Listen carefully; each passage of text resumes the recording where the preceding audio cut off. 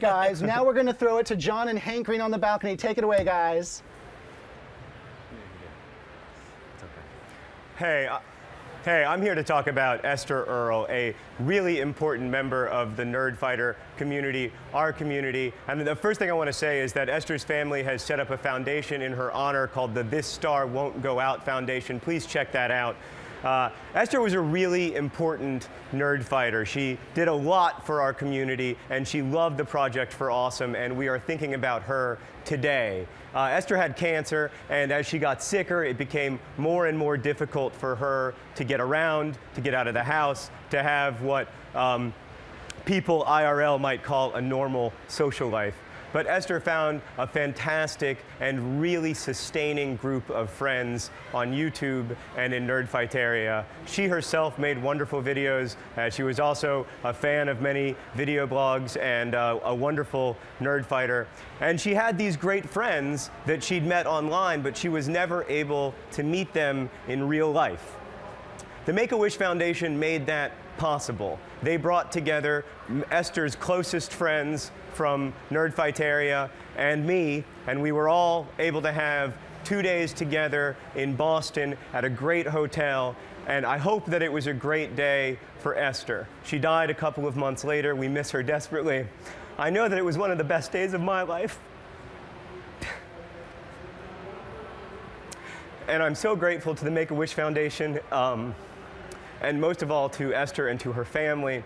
Uh, and we're going to watch a video about Make-A-Wish now, uh, and I'm going to stop crying. My name is Darren, and I made my wish to give back. Make-A-Wish, Make a wish. It's changed our life. Make-A-Wish changes lives, absolutely. So I, I had a non-Hodgkin's Burkitt's lymphoma.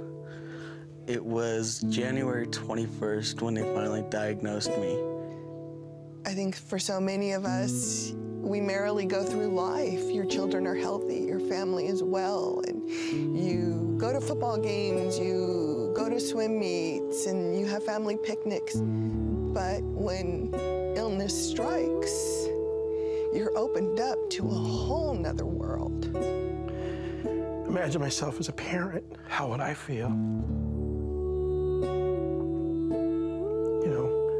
How would he feel? How would his parents feel? You have a cancer inside your chest. It's the size of a two liter bottle. What can we do?